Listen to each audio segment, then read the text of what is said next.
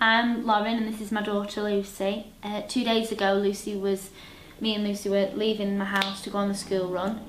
She um, stepped out my front gate following me and she was hit by a cyclist. She was dragged uh, about 10 foot across the footpath by the, by the bicycle.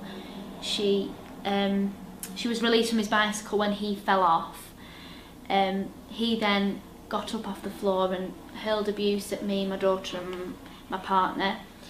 We then um, got my daughter in the car and, and, and he then cycled off. Um, we caught it all on our home CCTV